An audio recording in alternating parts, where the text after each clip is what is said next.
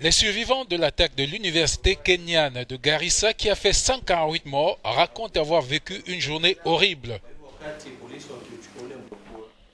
Lors du procès de cinq hommes accusés de terrorisme notamment, le tribunal a entendu des témoins qui ont donné des détails du massacre perpétré par des militants somaliens d'Al-Shabaab.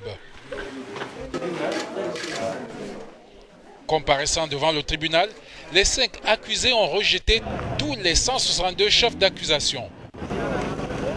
Le massacre du 2 avril dernier est le plus meurtrier du Kenya depuis les attentats perpétrés en 1998 par Al-Qaïda.